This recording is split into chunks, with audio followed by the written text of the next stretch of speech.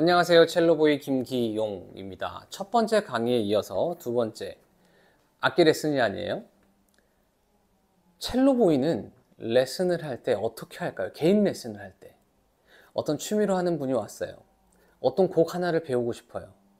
그러면 보통 99.9%의 선생님들은 자, 제가 한번 해볼 테니까 여러분 한번 들어보세요.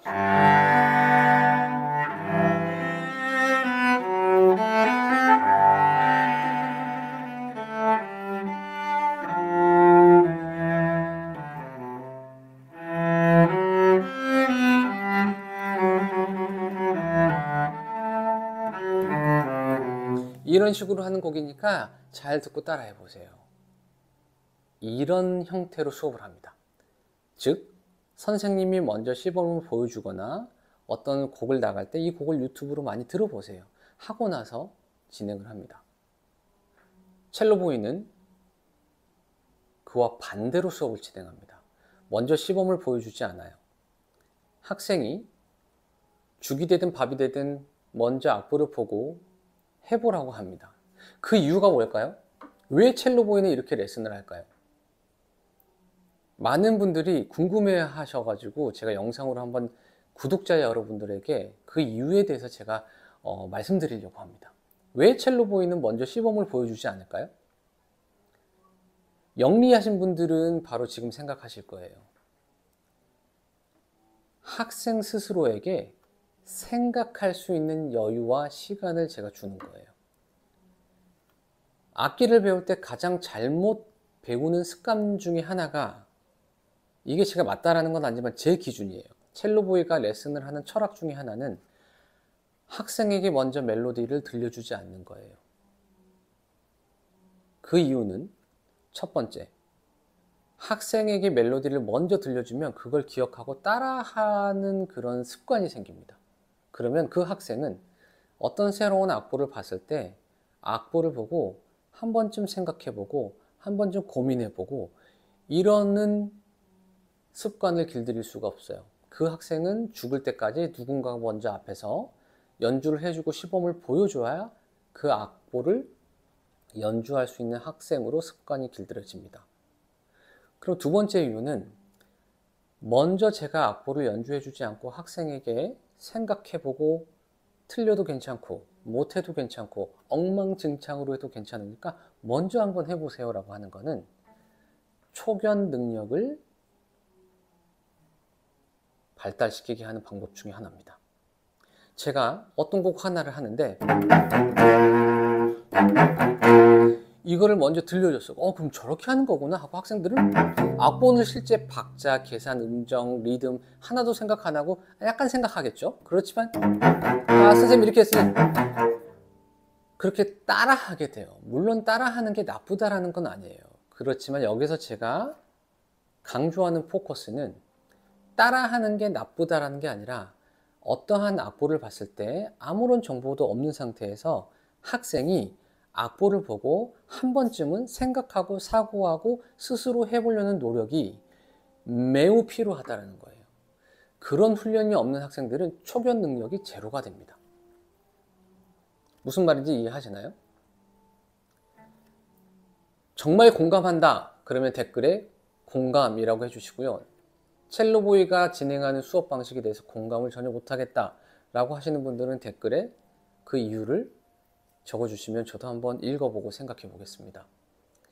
초견 능력이 발달하기 위해서는 내 스스로가, 학생 스스로가 아무런 정보와 인포메이션이 없는 상태에서 악보를 연주해 보려는 노력이 1년, 2년, 3년 정도 쌓아져야 돼요.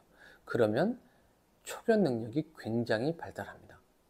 제가 레슨 받을 때 그랬고, 현재 제가 레슨을 하는 학생들도 그렇게 수업을 합니다. 새로운 곡을 나갈 때, 새로운 에티드를 나갈 때 학생이 틀려도 괜찮고 못해도 괜찮아요. 엉망진창으로 해도 괜찮으니까 한 번, 두 번, 세 번 정도는 선생님의 도움 없이 한번 해보는 거예요. 그런 게 예를 들면 에스 배우세요라는 그런 걸 수도 있겠지만 에스 배우세요라고 하면 보통 학생들이 가장 먼저 유튜브로 내가 해야 될 곡을 찾아봅니다. 미리 들어봐요. 나쁘지 않아요. 그거 나쁘지 않지만 내가 초견 능력이 늘려면 머리로 악보를 보고 사고하는 능력이 발달하려면 아무런 정보 없이 스스로 아, 몇 분의 몇 박자지? 플랫이 하나 있구나. 4분의 2 박자인데 가운자리표는 표로 되어 있고 가운자리표는 저게 도인데 라선에서 2번을 하라고 눌러져 있- 적어져 있구나. 누르고 이음줄이 4개가 있네. 어, 근데 C를 여기가 아니라 내려가서 하라고 되어 있구나. 앞서 말씀드렸던 강의처럼 악보를 보고 스스로 사고하고 판단하고 생각하는 훈련을 많이 하신 분들, 많이 악보를 잘 볼 수 있고 악보를 잘 이해할 수 있는 능력이 발달합니다. 여러분들 레슨, 개인 레슨 받으시는 분들 많이 계실 텐데 스즈키 예를 들어서 미뉴에트 나가요? 아니면 뭐